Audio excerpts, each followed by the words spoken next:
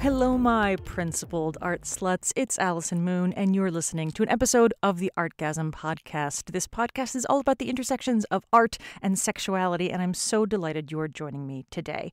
On this episode, I interview Kevin Patterson and Alana Phelan, two writers who have been working together on a series of books that are all about a multiracial, polyamorous group of superheroes working to dismantle systemic oppression. And I'm so delighted to be able to share this with you. If you are a longtime listener of the podcast, you will recognize Kevin Patterson from an earlier podcast where we discussed his book, Love's Not Colorblind. We have a wonderful far flung conversation, including everything from indie publishing insider baseball to polyamorous s- stories gone wrong to bridging the gap as a nonfiction sex educator and a fiction writer, uh, along with a lot of other cool things. So I'm super excited to share this with you. Before we get to that, though, just one little bit of news. I think it's really important to state as a white person that Black Lives Matter. And I think it's also really important to say that there are a lot of amazing works of art that can help you if you are a non black person grappling with understanding how to see the world through the lens of systemic oppression and through police violence. There are a lot of great works of art that can help you do that. Now, I'm sure if you've been on the internet at all over the past couple of weeks, you have seen a lot of people listing books to read and uh, and analysis to read and different people to follow. And I think those are all worthy and necessary things. I think that we should also understand, though, that fiction can be one of the more powerful tools to understand the world. And there's a lot of arguments around um, how and if reading books, reading fiction, watching film does actually make for more empathetic people. And I think that that's a really worthy examination. I am currently on the position of I think that empathy is just one part of the the lessons that we need to learn to be compassionate human beings in the world. I think it's kind of the first step. But there are many steps that follow empathy, which happen to do with action. But I think if you are at the place now where you're still trying to understand how this stuff is working uh, and how the system is set up in a inequitable way that disproportionately affects and harms people of color, then I think that there are a couple of different things that I would recommend you see. Um, there have been a couple of great films that I think are not only beautiful and entertaining, sometimes funny, thoughtful, and just brilliantly done. And a couple of those films I'm just want to recommend to you. I think all of them are available on various streaming sites. You can rent some of them, but you can also, if you have Amazon, if you have Hulu, if you have Netflix, you can get them um, for free. I mean, for free, as in they are on your subscription.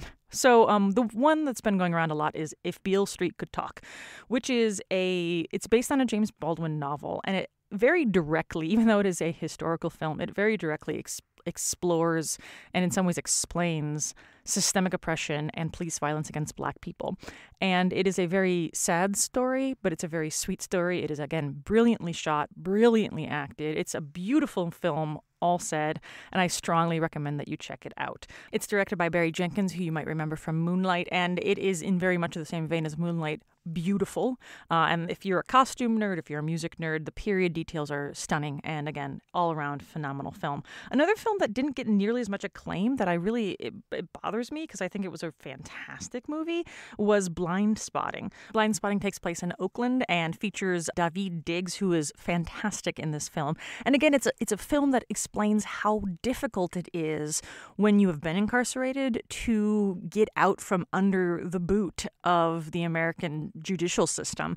And even though Daveed Diggs' character is doing everything he can to stay on the straight and narrow, he has a best friend who just does not experience the same consequences. He has a very different risk tolerance because he is white. And even though he grew up in Oakland and really identifies with black people and black community, because he is white, he does not appreciate the same risk that Daveed Diggs' character does. And it's really i think of, out of all the movies i've seen recently uh, it's one of the best kind of slice of life stories about Oakland. I lived in Oakland for eight years, and it it was always delightful to see you know places I used to go and streets that I, I am very familiar with and neighborhoods that I'm uh, I'm very familiar with, uh, featured in films. And uh, this is it's just a really it shows so much about the changes that are happening in the Bay Area, the effects of gentrification, and the tension between long term residents of Oakland and the pride of Oaklanders, as well as the challenges that Oaklanders are experiencing as they deal with gentrification, tech bro culture, and all the different things. And I, I loved this movie. It was so it was just so sharp and it's so well done and i strongly recommend you check that out. Also a movie that's all about oakland uh, and is unfortunately based on a very true very horrible story is fruitvale station. I moved to oakland the about two months after oscar grant was murdered by a bart cop and it was another story of a young man who was just gunned down absolutely unethically un, for no reason whatsoever and it was caught on tape and at the same time so little happened and it was a brutal story and th- but at the same time this movie is it's one of those movies where you're like it's hard to get up the gumption to watch it, but I think it's important to do, again, particularly for people who are having a hard time understanding the concept around defunding the police. Uh, this is a movie that kind of helps under, helps show what it is to live in uh, li- live under the fear of of white cops, really, and unfortunately the horrible consequences that happen when a white cop decides to take the law into his own hands. Um, Fruitvale Station was directed by Ryan Coogler, who you might remember from Black Panther, and again, beautiful, necessary film.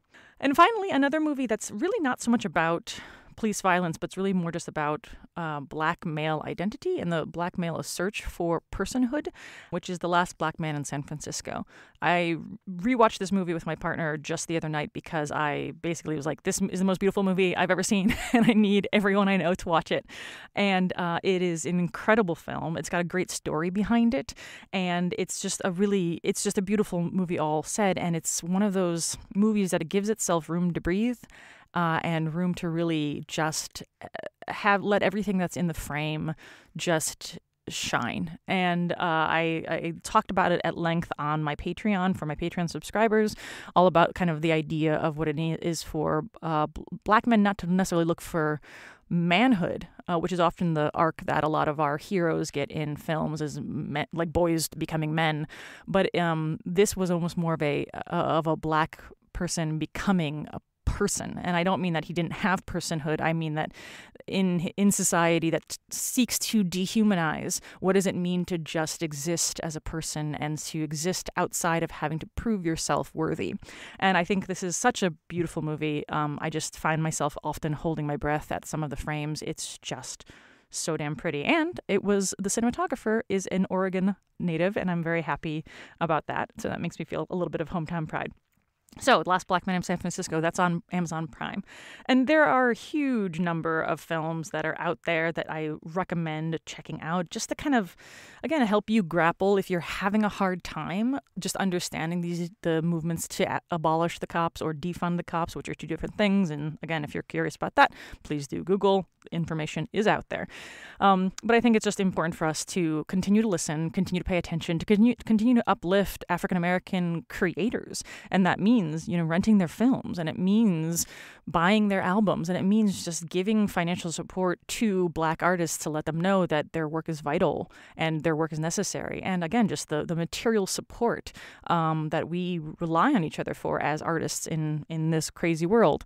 So please do check those things out. Um, if you're looking for other recommendations, I would recommend taking to social media, or you can always reach out to me at Hey Allie Moon, and I will let you know things that I, I have touched me. I've been trying to watch new things and engage with new things as much as possible. It is kind of part of my mm, my ethic.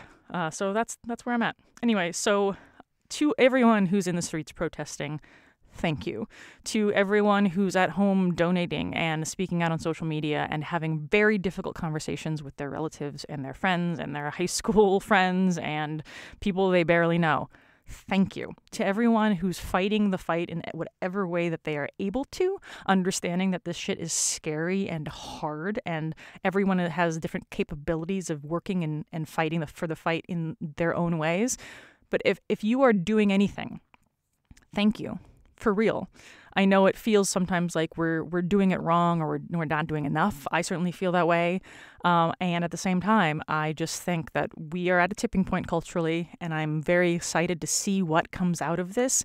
It has been a long, long time coming, hundreds of years coming, in fact. And we're not nearly there yet, but I have hope that we will get through this and we will see something new that uh, can help save more people's lives and keep more people alive that deserve to be alive and to help preserve the memory of people who have been taken for us, even though they 100% deserve to be alive right now. And um, I think that we just have to keep on remembering that this is about preservation of those who. Uh, who deserve to live and and deserve to live unencumbered by fear of an oppressive state. So, that's that. Now, allow me to introduce my interview subjects, Kevin Patterson and Alana Phelan. Uh, you can re- find out all about them at Poly Role Models, and they have a bunch of other links that you'll hear about at the at the end. In the meantime, they'll have their Amazon links that will, that will drop at the end of the interview as well as, and they're also in the show notes. So do check out those books. Again, material support of artists. Please do buy the books if they sound interesting to you, and please enjoy my conversation with Kevin Patterson and Alana Phelan. Kevin, thank you so much for joining me. I'm really happy to talk to you both. Hey, thanks for having us. Thank you.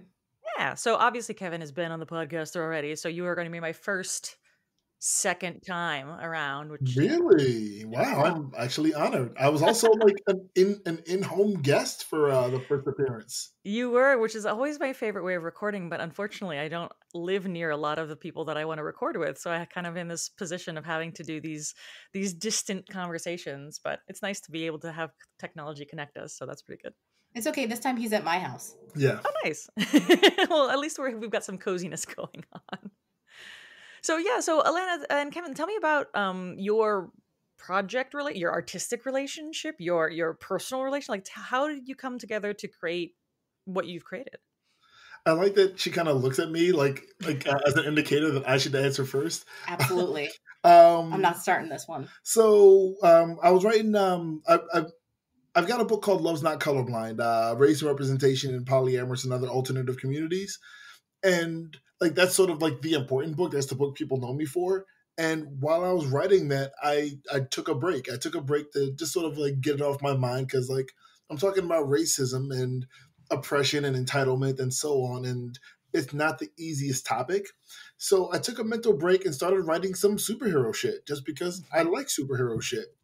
And I eventually showed it to Alana, and she really wasn't into it. So I just sort of I just sort of put it aside, put out, you know, finished Love's Not Colorblind, um, toured the book all over the place. And then eventually I was like, hey, do you think we could like really look at this again? Because Alana has a skill set. I have a skill. I have a certain skill set. Yeah, a particular set of skills. I, yeah, that's a particular. Makes you sound like a spy. I love it. yeah, she's the Liam Neeson of librarians. so I actually have a library degree. Um, I do not have a creative writing degree or anything like that, but I spent uh, I spent a lot of time reading, and I spend a lot of time following authors, and I had was in the middle of doing some time on an American Library Association book list committee so I was in the midst of like sort of doing a review of all these books, and I had my little critical eye on, and Kev handed me what was essentially like a guy who had never written fictions before's first draft. And I mm-hmm. read the I read the first two pages. I don't even know if I got to the second page. And I said, Kev, I can't do this. Oh, I can't do this. I'm in the middle of reading like I think it was like 250 books or something that year for the committee. Oh wow. And I was already in if it if it's not working by the first couple pages, if it's not doing what the committee needed it to do, set it aside. And I told him, no, absolutely not. I can't. I can't. And his his feelings were hurt. But the thing is, is despite that, he really uh, took it with grace.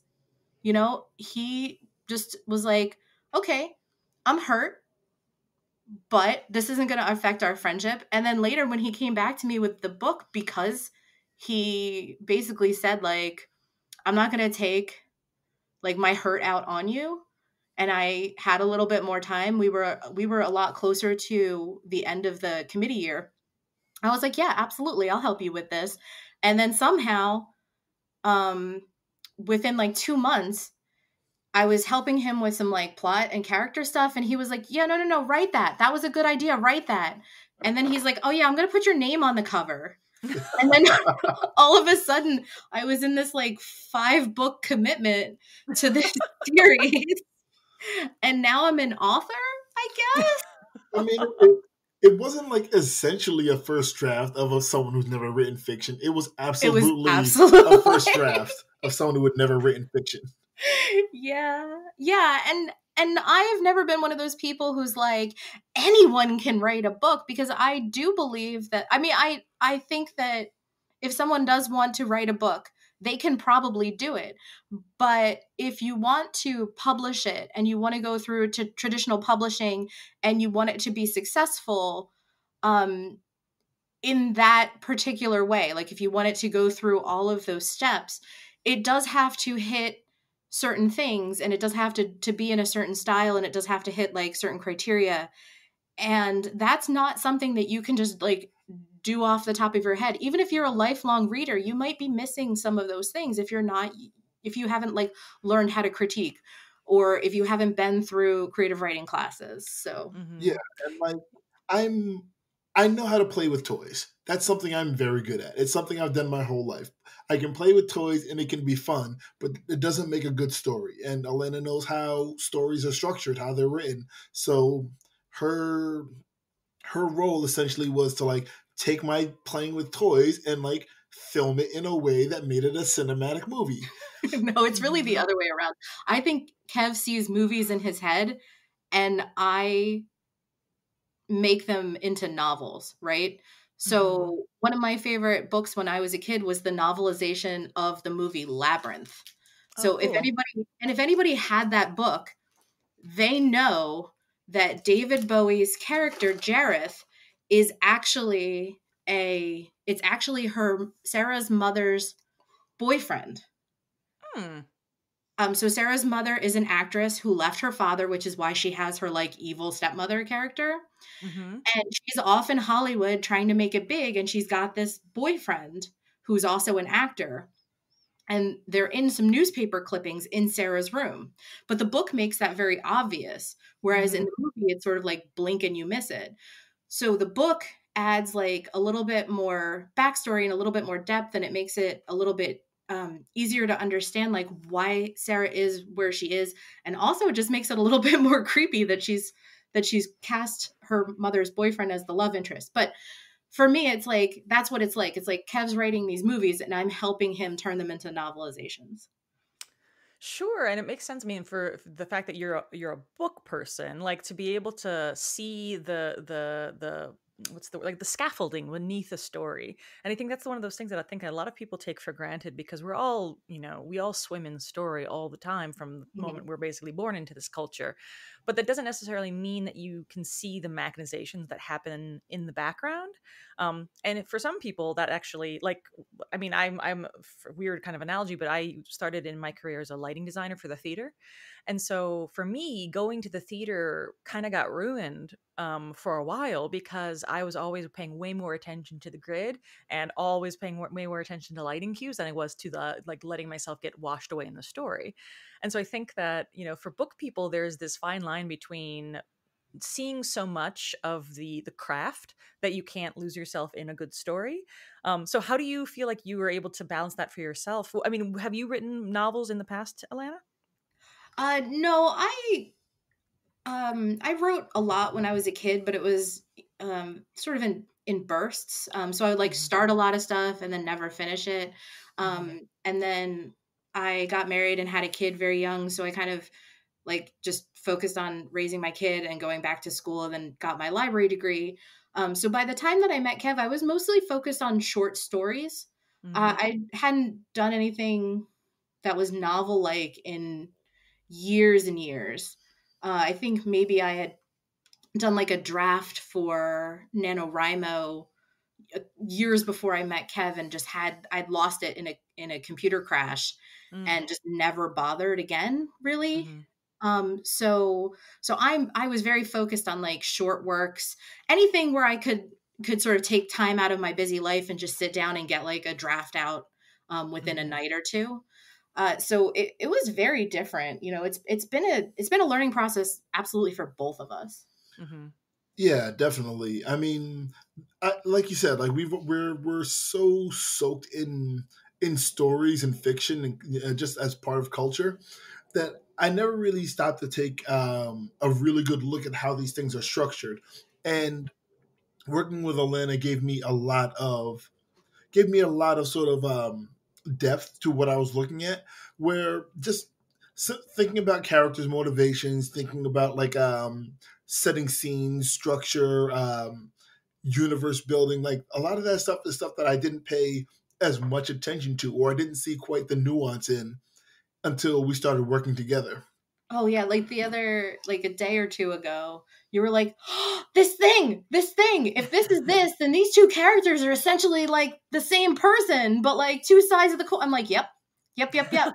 and that's that's that's the kind of like underneath work that you weren't doing before, right?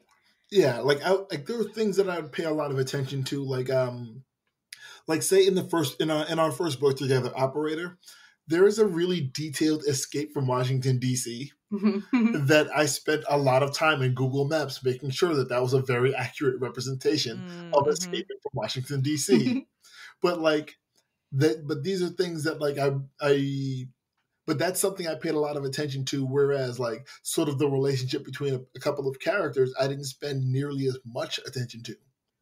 Sure, but I mean, yeah, as as you go through the process, and you, I'm assuming, I mean, this is certainly true for me. Like, you start to notice where something is underwritten more because you just you know like oh wait a second why do these characters get together or what is going on and once you have a question like that as an author it's almost like a great neon arrow pointing to you need to write more about this or you need no, to clarify no that was that was my job in the first book it was my job to be like uh, my job was like oh that's missing oh, i guess I, I just have to do that okay cool i'll just do that yeah where there were there were there were a few chapters where Alana was like, "Hey, you know, you're missing. You should rewrite this. Hey, you need to spell this out a little bit better." And then there were times where she said, "This scene can be rewritten in a certain way," and I was just like, "You know what? You should just rewrite that scene." It mm-hmm. looked like what you're describing to me is really awesome. It probably looks better in your head than it does in mine. You should just write that chapter, and I'll put your name on the cover. Yeah, that's just where that all came from that's awesome. So, well, so let's talk a little bit more about the actual books and the actual content of the books. What's the story of For Hire? Um, well, the two books are two uh, are two different things going on roughly the same time. But Operator, Operator follows uh, a young woman named Sana, who is the best operator in in the country, and the way our universe is set up, if you are a superhuman and you want to use your powers in a way, you actually have to be like registered to do that. And you can be a superhero, which is basically like a super cop registered with whatever city you're living in. Or you can be an operator, which is an independent freelancer, kind of like if the Punisher took paychecks. Mm-hmm. so Sana is the best operator in the country, and her girlfriend, since since youth, is the best superhero in the country and it kind of becomes a very difficult situation between the two of them because they they their respective reputations would be damaged if people knew that they were together. Mm. So they've got a very closed off relationship, and it, it, it, becomes sort of it becomes the friction that that um that sets them apart from everybody else. And then all of a sudden, Sana gets a she gets a contract from her favorite her favorite uh, client and it ends up setting them directly at odds. You know, not just we don't want to be seen in public with each other. Now it's if we see each other, it's shoot on sight. So that's the first book. So it's very like big and bombastic. The second book is actually um, much more smaller scale, and it's com- two completely different characters. It's this uh, young woman named Vanessa, and her power is like most. Um, they're called variants in our world. In in in this world most variants have a relatively low key power you know it's not nobody has like the the big superman powers there right are no optic blasts there are no optic blasts so vanessa has this power and um, it gets noticed by uh, a local superhero who's kind of i'm not even going to say like b list or c list maybe not even. D list, maybe like E list. and uh, this this superhero who who basically is a cop is like, hey, so I really want to um, boost what I do, and I think what you do and what I do could come together in a way, except that way is not quite legal.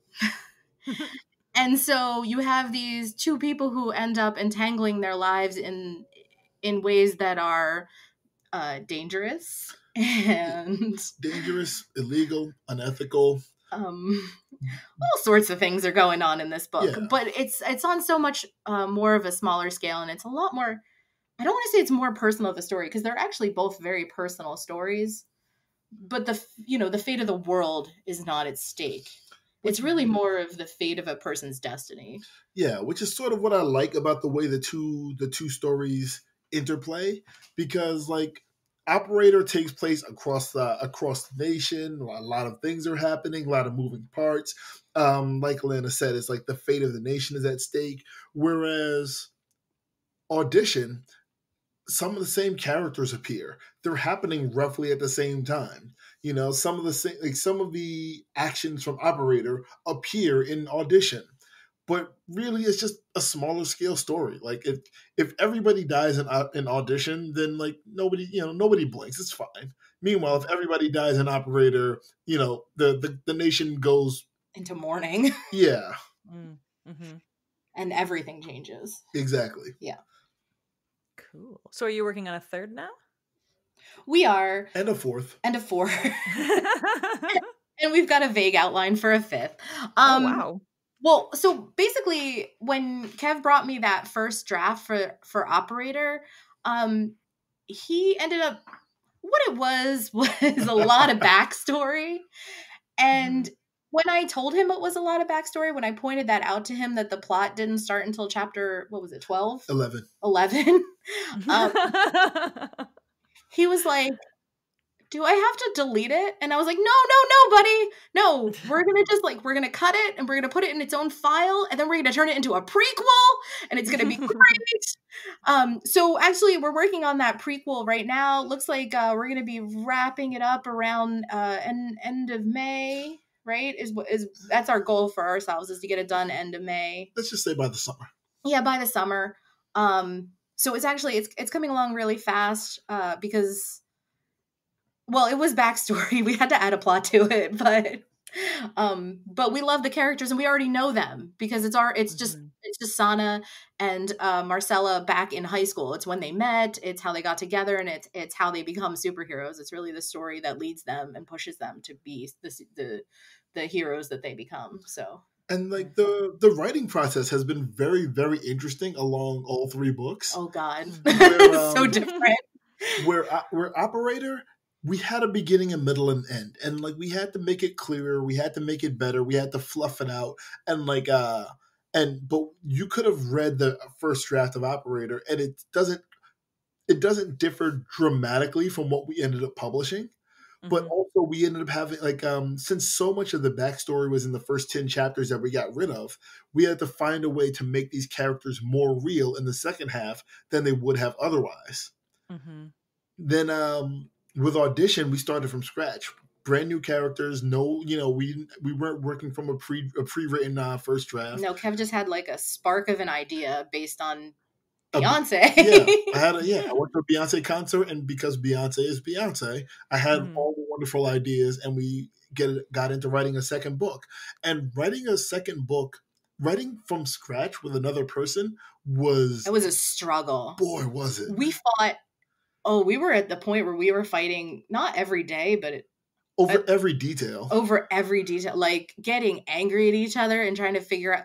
I at one point I said I said to Kev, I was like, I am putting more energy and fighting more with you than I do with any of my partners. This is ridiculous. I'm like, but you're worth it. This is worth it. Yeah, So- creative relationships are relationships. We have to remember that. that's why she's my work wife Uh, much as she hates when I say I that. hate when he says that. I hate it so much.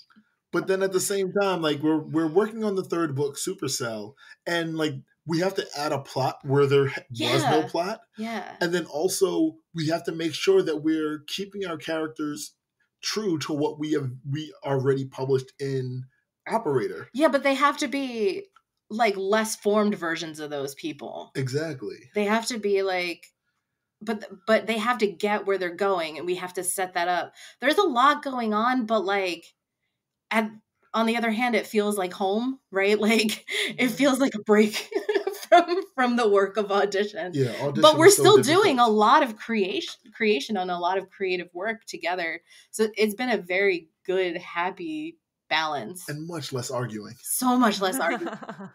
So much. well, kind of as a weird segue. So you're both polyamorous, but you're not partners in real Nope, life. Nope, nope, nope. We Sorry, been- we- sorry. Wow. I did it again. Wow. I do this every time. Yeah. that- That was the least harsh way I've done it, though. yeah, yeah. There you U- go. Usually, uh, when when someone asks if we if we've ever been partners, it's ew. It's, ew. I didn't say ew. I'm, I'm getting better. Boom. But we've um, we've been metamours four four separate times. Yes. Uh huh.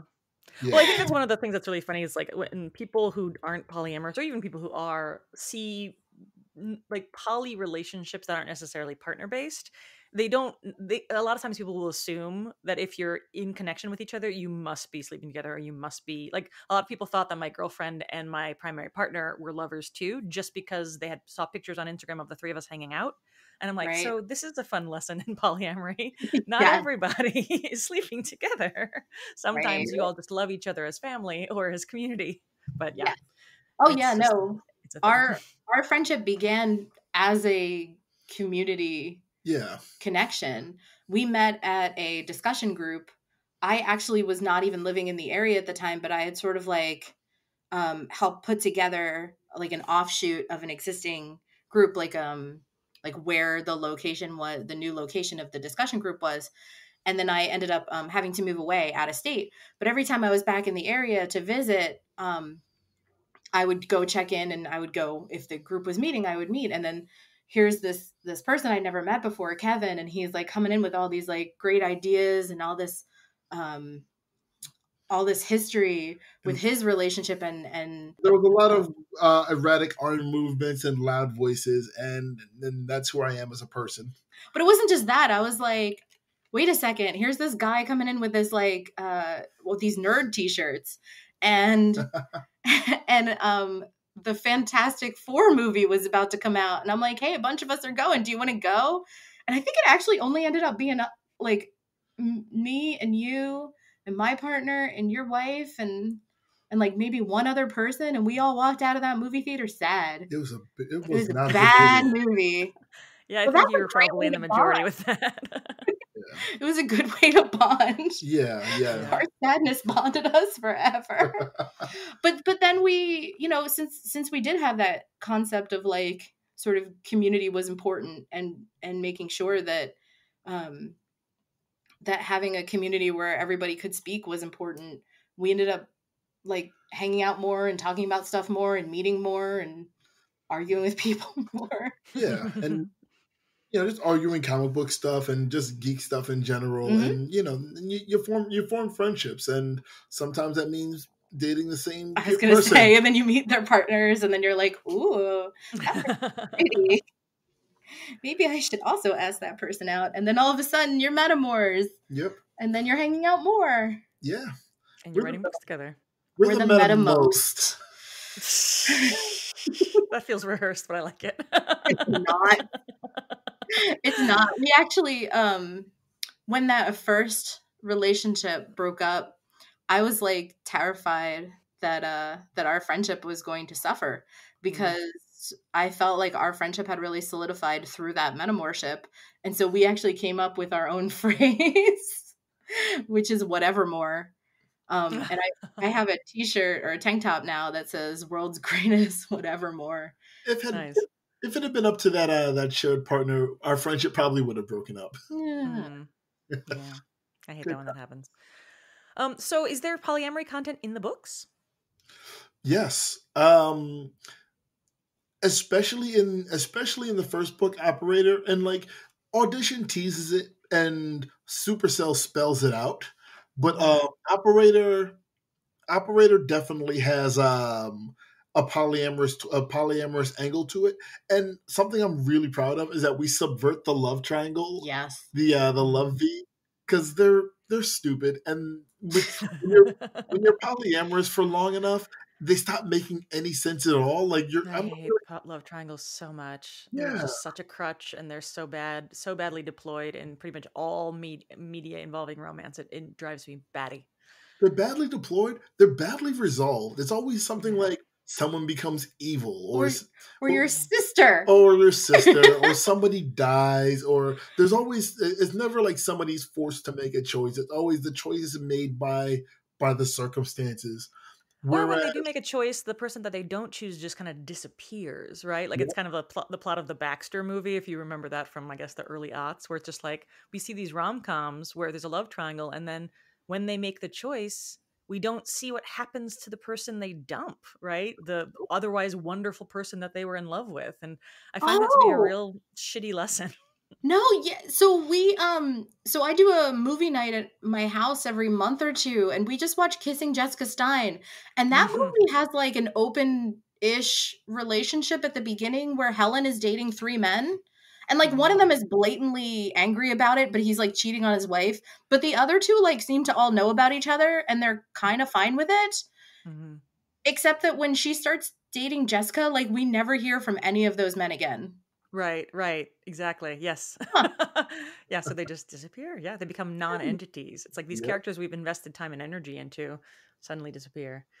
Yeah. Yeah. And that's the thing like I think just as a writer and as a polyamorous person, there's so much opportunity for drama and story and character development within ethical non-monogamy and yet somehow we just don't get those stories nearly enough and instead it creates this like otherwise good people becoming assholes or you Yep. know people making terrible choices because it's some sort of unwritten story dictate says they have to choose one monogamy Oh, is required Hans of the Prince southern Hans of the of the southern of, Southern I mean, and meanwhile, with um, with with operators, something I'm really proud about is that we we have something that vaguely resembles a love triangle. We do.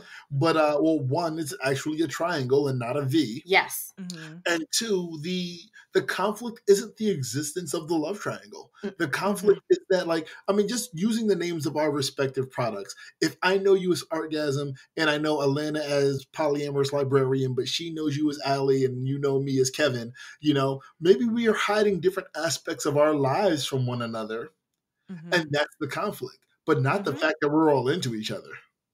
Right, and that's the thing. Like, uh, and that's the th- there's so many opportunities in polyamory. where It's like you know, people always say like, "Well, polyamory is cheating," and we're like, "No, actually, you can cheat in polyamory, but polyamory is not cheating."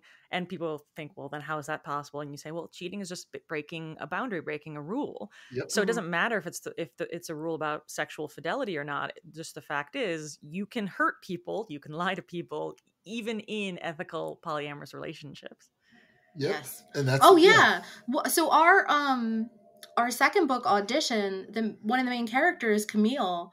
Um, we wanted to be clear in our books that there are different kinds of long-term non-monogamous relationships and camille a huge part of what she's going through is the breakup of her triad and Mm. it's her you know she's mourning it in a totally different way than her partner is mourning it and also one of the things we wanted to do with that is to make sure that it wasn't like two wom- two women and a man it's her Mhm. and her two husbands Mhm. Yeah. um so, so one of her husbands leaves that relationship and you get to see um each person's perspective at least a little bit during throughout the course of the book Yeah, and the conflict isn't the fact that she has two husbands. The, Nope. con- the conflict is based on who these people are and how they relate to one another, almost like in real life. yeah go figure right.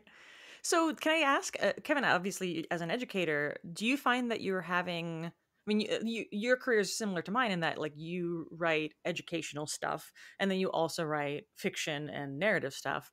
Do you find that you're having, you know, fans of your sex ed or your relationship education follow you to these novels, or or do you feel like they're pretty separate uh, audiences? I mean, thankfully, the people who uh, who, who read Love's Not Colorblind, like uh, a lot of them follow over to um to to the For Hire series. Like, it's not something I'm expecting because like they're two different they're obviously they're two they're going in two different directions they're doing two different things but people who are reading a book about race and representation in polyamorous communities they also want to read a book about queer polyamorous uh poc centered superheroes you know mm-hmm.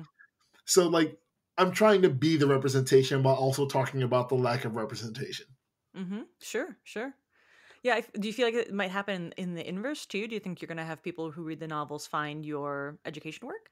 Absolutely not, but I'd Absolutely. love if they did.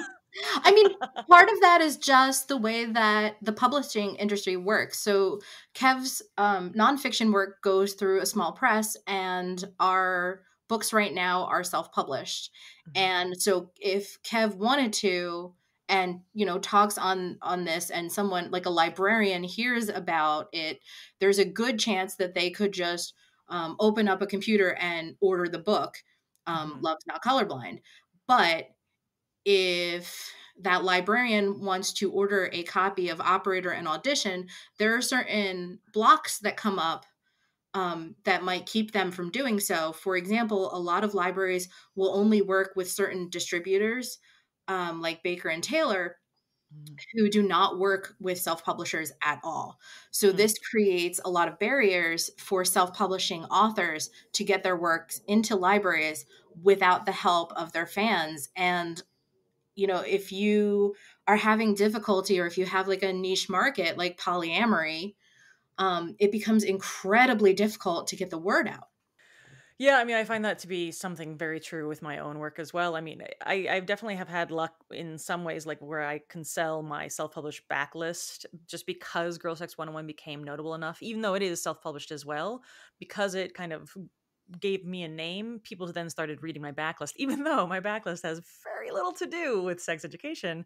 Um, I think it just becomes like you find those super fans who just like you, like they like me for who I am, and they want to read everything I've ever written. Um, and that, as, as a self-published author, becomes really useful. Those people become the people who you know listen to my podcast and then donate to the Patreon and then read all my other books, and those people are are precious to the independent artist like myself. Um, and oftentimes I, I was surprised to see that people gave a shit about you know the the werewolf books and then continued on to read my memoir and then my you know uh, my sex ed book. But you know those people are are awesome. And i love them. So right. Yeah it, it it just becomes so difficult to to figure it all out because first off, you have a lot of people who don't have any experience, um, who want to get their work out. And then second off, it, it becomes this like constant scramble of always having to put yourself out there and how much um, you know self promotion is too much self promotion are you coming off as being like greedy or grabby or grasping um, yep. you know for me for as someone who uh, doesn't really lean into the sex part of sex education Mm-hmm. Um, I often wonder, it's like, well, you know, I see a lot of people who are in sex education and they're like often, you know, posting like really sexy pictures of themselves. And I'm like, okay, well, that's not me. Um, mm-hmm. which is, you know, I have, you know, that's, that's, it's just not me. So mm-hmm. like, I'm like, oh, well, is that, is that a part of this that I'm going to miss out on? And, mm-hmm. you know, I have no pictures to put up. You know, like I don't I don't take a lot of pictures of myself at all, let alone like sexy ones that are going to attract attract attention and and get that kind of thing. But it's like it's like I don't feel like a product. How do I market myself if I don't feel like a product? And then it's oh, you have to constantly be doing this. You constantly have to be doing that, and it's exhausting. Um, especially if you have anything else going on. Like in my case, um, I have this really weird illness that uh, after three years still doesn't have a real diagnosis and i mm-hmm. have to live with that thing every day and i have to balance out like i can only spend limited time on a computer because of it mm-hmm. um, mm-hmm. so you know how much time am i going to spend in front of a screen today and how much time am i going to spend in self promotion right yeah so like the whole thing is just so bizarre and it's it's it's just a constant uh push and pull of like what can I do to make money today? And how much have I done to make money today? And how good do I feel about what I've done to make money today? Mm-hmm. Yeah, it's it's this weird. I definitely feel the same way. Like I I don't. Social media has been such a, a difficult thing for me, just mentally over the past couple of years, and you know, it's it's a weird thing when when we are brands, when when you know Kevin Patterson is a brand, and when Alana is a brand, and Allison Moon is a brand, and it's not the the products that we sell, it's not the books that we write or the art that we make, it's the people that we are yeah. that ends up moving product. And so we're, I mean, this this weird like insidiousness of capitalism where it's like it you become the thing that you're selling, yeah. and that's really weird. Like I actually found that uh, complicated to make it a little bit personal. So like obviously I'm polyamorous too, but my partner and I just got legally married, um, and so like I wanted to. Thank you. I, I wanted to post it online, just like a pictures on Instagram, and it became this thing where it's like you know hashtag relationship goals, and like I I like that people can look at myself and my partner as inspirational non-monogamous couple but there is this weird feeling i feel when it becomes like this ideal for people to have to emulate in order for them to have you know the ideal polyamorous relationship. And it's right. like this is not necessarily something that you know like and I, I just don't it makes me feel like even intimate aspects of myself that i'm sharing with my friends and followers become another opportunity for commodification. Right. Um, well do you remember oh sorry go ahead. No please go ahead no, do you remember when um I, I don't know how long you've been doing polyamory, but do you remember when our little quad broke up? No. Okay, so there was there were these um two couples who came together in a quad and they had uh, a lot of good resources. They were very active in the like the biggest polyamory Yahoo group of the late 90s, early 2000s. Um, they they had blogs. They were very popular, and their quad broke up and everyone got really mad that they wouldn't discuss why. Oh, so it was like they no yeah. longer had ownership of their own relationship because they had spent so much time discussing it. People wanted to know what did you do wrong so I can avoid it too. Mm-hmm. But here were these people who were actual people who were hurting, right? And this didn't have anything to do with this is like pre brands, right? They made nothing off of this. Mm-hmm and that's interesting though because i feel like on some levels like it, it does feel like well if, if you are if you already commodified your your love and the success of your relationship it makes perfect sense for you to also commodify the the the solution of it because if if everything that you do in your relationship is an educational tool for other people mm-hmm. then so should the breakup be right right and then of course you have exes who are like don't you ever mention me ever. Yeah. And meanwhile, you're like, I'm learning things. I also want people to learn things. Like if I've learned something and I spend all of my time saying, well, if I've learned something, what's the point if I if other people can't learn from that? Mm-hmm. Like that mm-hmm. that's a big thing for me is like, hey, if I make a mistake, like I want to tell other people that I made this mistake. I want to own that mistake and I want I want other people to not make it too. You ever want mm-hmm. you ever mm-hmm. play fantasy football? No. No, no, mean, Kevin. No. I, um, I, I I got really into fantasy football for a while, and like the the the basics the basics of it, if you're unfamiliar with fantasy football, is that you you create a team based on real NFL football players, and as they create real NFL football stats, they accrue a certain number of fantasy points. So if I've got a team and Alana's got a team, eh, you know, each week we see who has the more fantasy points. I win or she wins. Mm-hmm. So it became a really difficult thing for me because I'm playing fantasy football, but now like I kind of want my Giants. I'm a New York Giants fan. I kind of want them to not do as well because I'm playing against somebody who has like the Giants defense on their fantasy team. Where, sure, yeah. You know, like I want Eli Manning to throw four interceptions, but also somehow win the game because I want them to win because I'm a Giants fan, but I want him to have a bad game personally because he plays for the other fantasy team. And mm. I think about that in terms of like my relationships where I talk about my fuck ups so much. I talk about things that I do wrong. I talk about things that have been done wrong to me. I talk about how much I learned in the process. And it becomes a difficult thing where like I'll be having an argument with a partner. And thankfully I don't have a lot of arguments. That's just not how my relationships roll.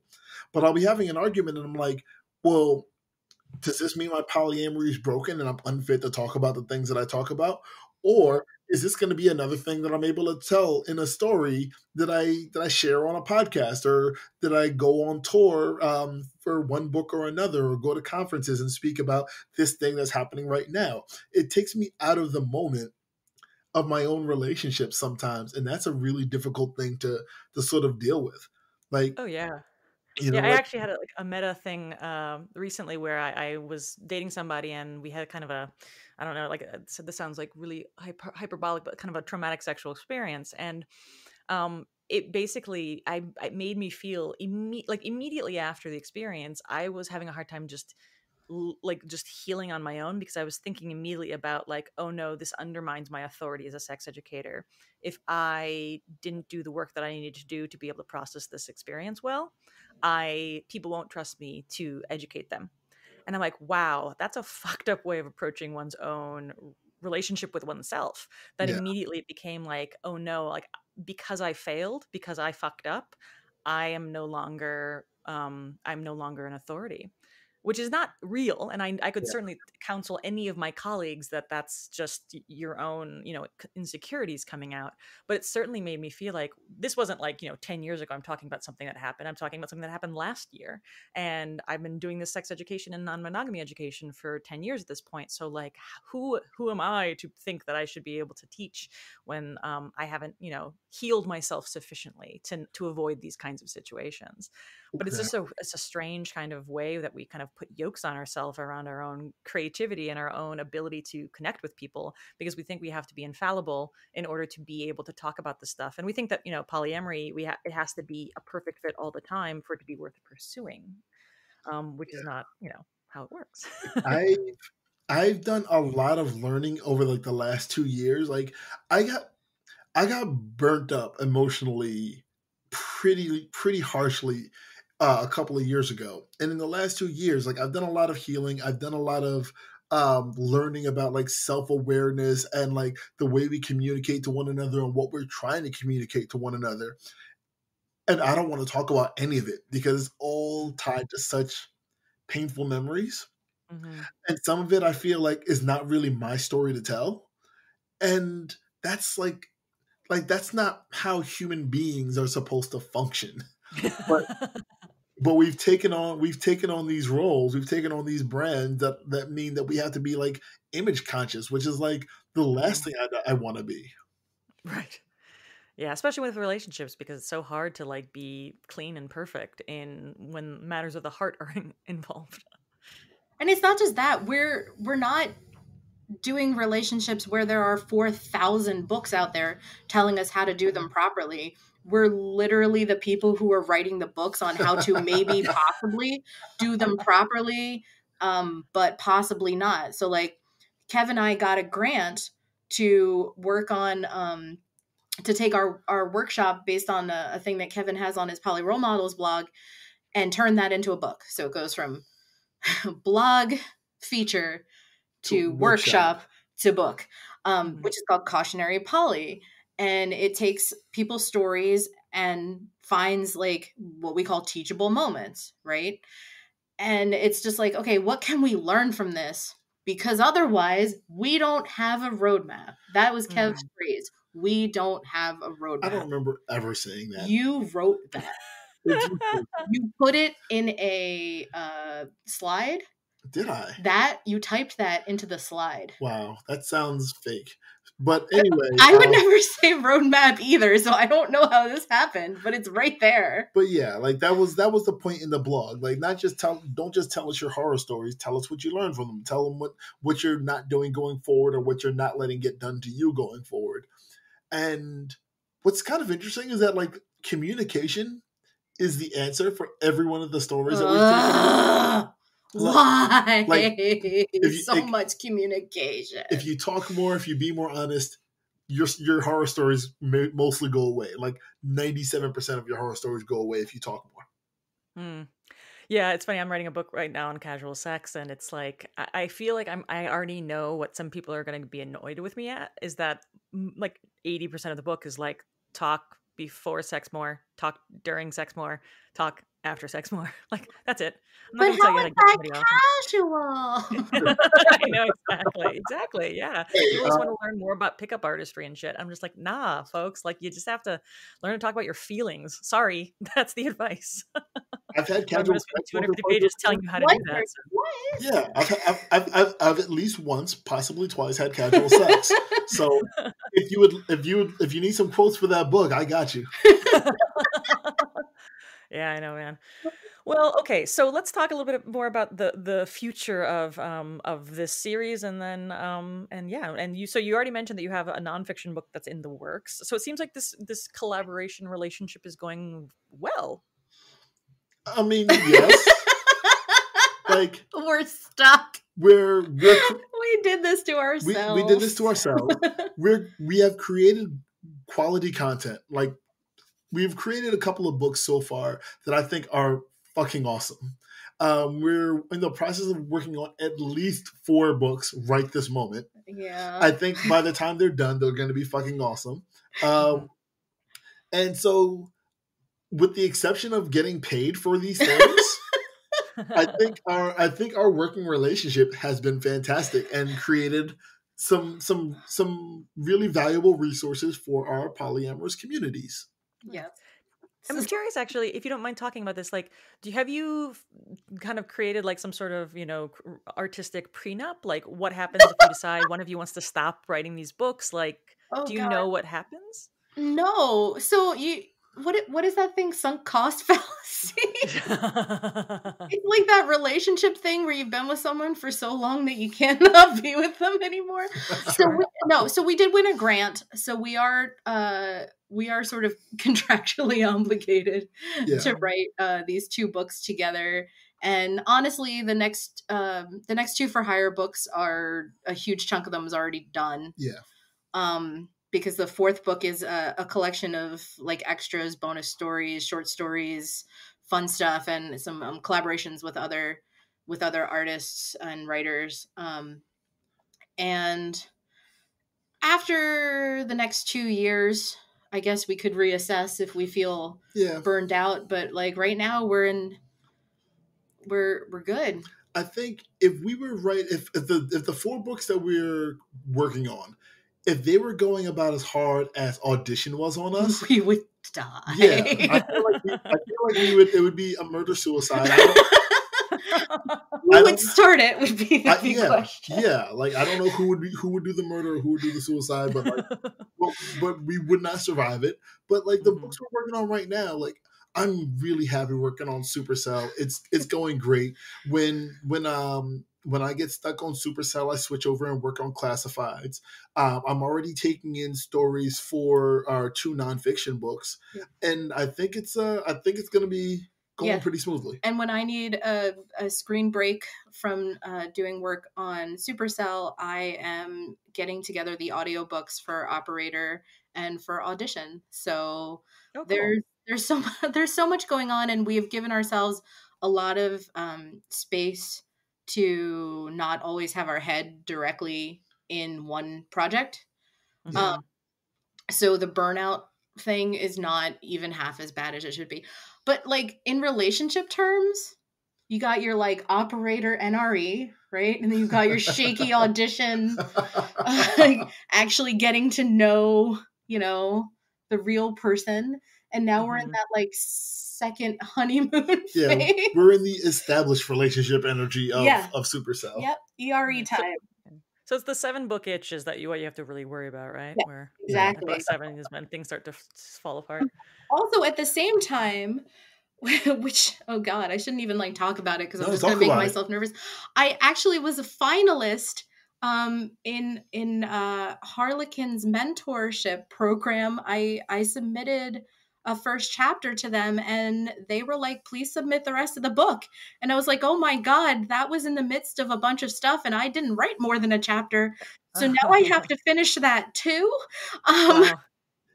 so that i love that like so they so actually for those who don't know um harlequin created a queer and poly friendly um uh small press imprint oh, right? wow so that's their new thing. So so i'm i'm going to sit here and wait and see how their polyamory plays out right? I'm i'm expecting a lot of triads or thruples or whatever. Oh god. I know i'm sorry i didn't mean to use that word. Um i know some people really enjoy that word but i'm too old. Oh uh, no i hate the word thruple. It's like a it grates my ears. So yeah i totally understand. Um, apologies to those who listen who use the word but yeah i'm a yeah, I, I usually love when people squish words together but i think it's because it's overwriting a word that has been in the community for so long. Um, mm-hmm. I've been doing this for over 20 years, and so triad has always been my go-to word. Um, mm-hmm. Also, it's got that like you know, I don't know. It just has it just has that power to it, right? Yeah, because yeah. you don't know if we're talking about a three-person relationship or a Chinese gangster. I was gonna say like some sort of like power source thing. Oh, yeah, like a, tri- like a tri- or something. yeah. I was gonna go for like a Triforce joke, but whatever. Yes. Um, also, also a legitimate video game joke. yes. Um. But yeah, so so I'm I'm sort of holding out to see where Harlequin is going with that, but I'm also writing in the meantime um, a a book about what it's like to be sort of bisexual and figuring it out, mm-hmm. and how even today when you have access to so much information you still kind of have to uh, feel your way in relationships and mm-hmm. get out of your own way uh, when you are a like uh especially like a suburban bisexual mm-hmm. who doesn't have access to like a lot of uh, queer community mm-hmm. um so that's my little love story that i'm writing right now and although Alana hasn't asked and won't ask and doesn't want, I'm gonna send her some notes on how to on how to add some superheroes to that. yeah, absolutely. you can never have too many superheroes. My my super adorable, realistic, bisexual suburban superheroes. Maybe like a firefighter. Relationships. A true and opposite. All right. So, where can people find more about you and about your work and uh, purchase your books and support all the things? Um, I'm Poly Role Models on all the things Instagram, Facebook, Tumblr, uh, Twitter, especially on Patreon. I'm Poly Role Models on Patreon. Um, our books together are uh, for Hire Mag on Twitter, but you'll find more on Facebook. So if you go to like facebook.com slash for hire mag, because everything's set out like a magazine, um, You'll find all the latest information on the For Hire series and also our effing foundation uh, nonfiction books. And for me, it's the polyamorous librarian pretty much everywhere except Tumblr because Tumblr is for my kid. Like that, we keep our social media very separate. Uh, and then uh, except Twitter, where I am at Hello Librarian. Wonderful. Well, thank you so much for taking the time to talk with me. I really appreciate it. And yeah, go, go check out those those awesome superhero books, y'all. Yeah. All yeah. right. Thank you so much. Thank you. All right. All right. Bye. And that's it for this week's episode of the Artgasm Podcast. Again, as always, feel free to find me on social media if you have questions, if you have things you'd like to share. I'm on Twitter at HeyAliMoon. You can email me at artgasmcast at gmail.com. If you like what I'm doing and you would like to support me, please, please go to Patreon. It's patreon.com slash artgasm. That's P-A-T-R-E-O-N dot com slash artgasm. While I was on my hiatus, I did lose a number of Patreon supporters, which I totally understand and I have no ill will towards. But if you would like to kind of jump back on board and listen to the backlog of a lot of different uh, solo episodes I do, if you want to hear me talk about that beautiful film, The Last Black Man in San Francisco, you can do so over on my Patreon. I will be back again in two weeks with another episode, another full interview. And in the meantime, thank you so much. Please take care of yourself and your friends and family and communities, and Black Lives Matter. Take care. Bye.